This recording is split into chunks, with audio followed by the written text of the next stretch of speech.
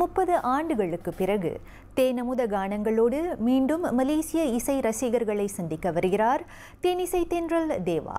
தொண்ணூறாம் ஆண்டுகளில் இசை ஞானி இளையராஜாவும் இசை புயல் ஏ ஆர் ரஹ்மானும் புகழின் உச்சியில் இருந்த காலகட்டத்திலேயே தமக்கென தனியோர் இசை சாம்ராஜ்யம் படைத்த தேவாவின் மதுர கானங்கள் இன்று கேட்டாலும் இனிக்கும். அத்தகைய தேனிசை கீதங்களோடு கானா தத்துவம் நாட்டுப்புறம் என்று மீண்டும் மீண்டும் கேட்க தூண்டும் பாடல்களை பிரபல கலைஞர்களை கொண்டு வரும் ஜூன் மூன்றாம் தேதி இரவு ஏழு மணிக்கு கோலலம்பூர் புக்கே ஜாலில் அரங்கில் இசை கோர்வையாக படைக்கவிருக்கிறார் இசையமைப்பாளர் தேவா.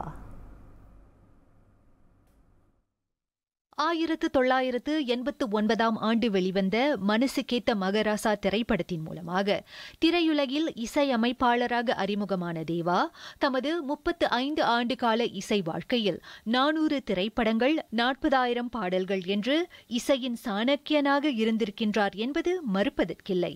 அவரது இசை பயணத்தில் திரையில் தோன்றாத நட்சத்திரங்களோ அல்லது அவரின் இசையில் பாடாத பாடகர்களோ இல்லை என்பதும் தேவாவின் பெருமையாகும்.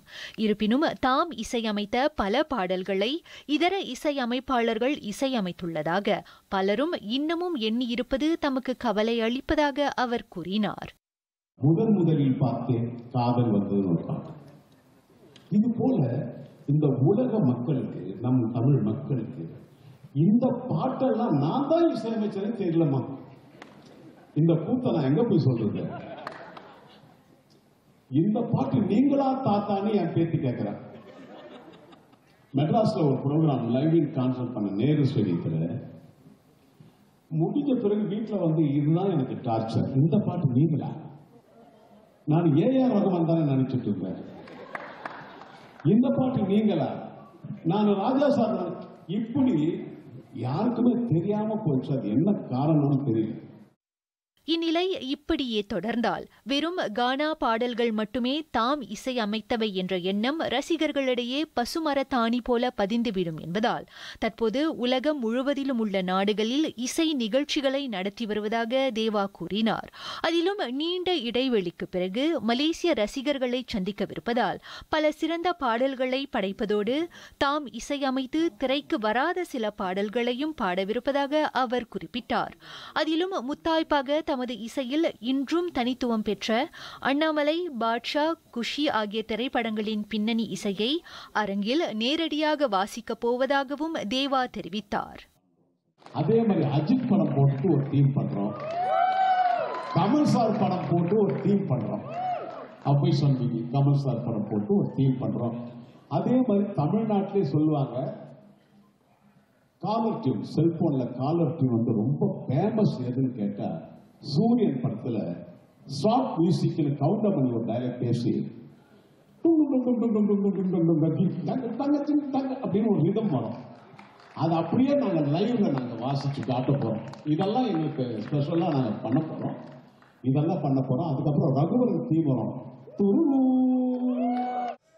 இதனிடையே சுமார் பத்தொன்பதாயிரம் பேர் கலந்து கொள்வார்கள் என்று எதிர்பார்க்கப்படும் இந்த இசை நிகழ்ச்சியில் ரசிகர்களின் பாதுகாப்பு நிமித்தம் பல்வேறு ஏற்பாடுகளை தமது தரப்பு செய்துள்ளதாக ஏற்பாட்டுக்குழு தலைவர் திருவரசு தெரிவித்தார். எல்லாம் பயப்படுவாங்க மழை வரும் அது வரும்னு. இது வந்து full secure because we doing on track track and sitting வந்து பார்த்திங்கன்னா எல்லாமே cout so student be a problem so ஏன்னா அங்கே ஃபீல் கொஞ்சம் ரெனோவேஷன் வரனால வி ஸ்டூடெண்ட் ஃபீல் மேலே வைக்க முடியல. ஸோ அதனால் ட்ராக்கில் வச்சு இந்த மாதிரி செஞ்சனால இது புது முயற்சி எல்லாமே வரவேற்றாங்க. நல்லா தான் இருக்குது பார்க்குறதுக்கு நல்ல கிட்டையாக இருக்கும். நல்ல ஃபீலாக இருக்கும் நாங்கள் so days thing ticket ticket wise sofa so good moving பண்ணிகிட்ருக்கு ticket விற்பனை வந்து நல்ல வரவேற்பு இருந்துச்சு. ஸோ மக்கள் மத்திய நல்ல வரவேற்பு இருந்துச்சு. மேபி அவங்களும் ரொம்ப ஆவலாக காத்திருந்தாங்கன்னு தெரியல. ஸோ எங்களுக்கு எல்லாமே போயிட்டு எங்களுக்கு இன்னும் ஒரு almost seventy percent sold out ஆச்சு. அதே வேளையில் இந்நிகழ்ச்சியில் பாரம்பரிய இசை வாத்தியங்கள் வாசிக்கும் உள்ளூர் இசை கலைஞர்களையும் வரவழைத்து அவர்களுக்கென தனியோர் அங்கம் வழங்கும் முயற்சியும் துரிதமாக மேற்கொள்ளப்பட்டு வருவதாக அவர் கூறினார். நேற்று புதன்கிழமை ஷா ஆலாமில் நடைபெற்ற செய்தியாளர் சந்திப்பு கூட்டத்தில் அவர் இத்தகவல்களை பகிர்ந்து கொண்டார். சலோமியா!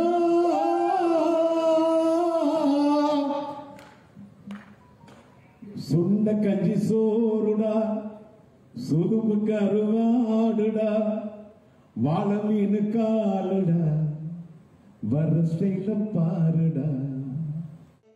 சிட்டி புரொடக்ஷன் மற்றும் பாக்கெட் பிளே நிறுவனங்கள் இணைந்து படைக்கும் இந்த இசை நிகழ்ச்சியில் பின்னணி பாடகர்களான ஹரியரன் எஸ்பிபி சரண் உன்னிகிருஷ்ணன் அனுராதா ஸ்ரீராம் பிரியங்கா அல்கா அஜித் ஹரிணி ஆகியோருடன் தேவாவின் புதல்வர் ஸ்ரீகாந்த் தேவா மற்றும் தேவாவின் உடன்பிறப்புகளான சபேஷ் முரளி ஆகியோரும் கலந்து கொள்ளவிருக்கின்றனர்.